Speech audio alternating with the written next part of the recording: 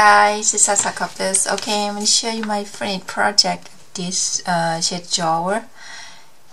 So apparently I have only part 4. It's almost finished, but my iMovie is not working, guys. So now I have to upload it on my husband's uh, computer so I can upload the, the finished project. So this the second one that I made. So this one the first time I remember I put it together first and paint later I didn't like it. But I think I like this one better. I painted first so it's really good guys. Look. I love this one better guys. See that on the back there.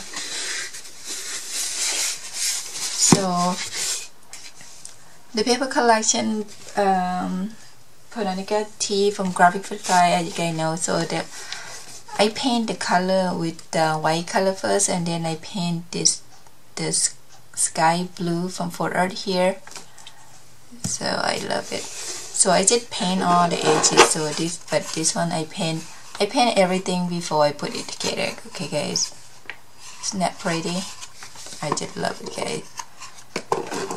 Let me show you guys. See I did make really simple I didn't do a lot of stuff over here because just in case if I want to do like a workshop so I don't think I need too much stuff going on that take a long time you know. And I use sentiment days remember so this gonna go for uh, the craft shows so that I'm really excited and I'm really really busy cutting stuff, packing orders and get stuff ready for the show. It's gonna be a lot of work. Anyway, so as I said, I heat the paper and my past them so I made to make this really good. And this one is not stuck if you use, if you don't use the candle to melt it.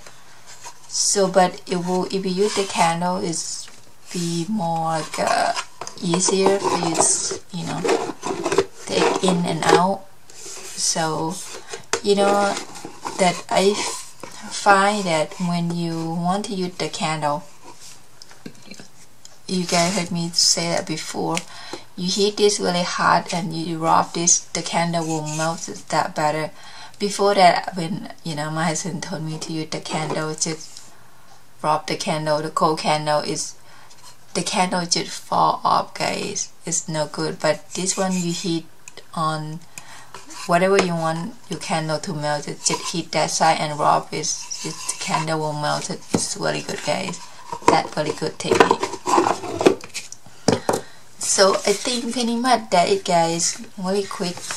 Well it to me really quick guys but a lot of painting going on. It take a longer time because I have to paint inside outside so this it you know doing project not that much but a lot of thing it uh, take a lot of time it's painting guys. So okay guys that's it guys. I hope you guys like it so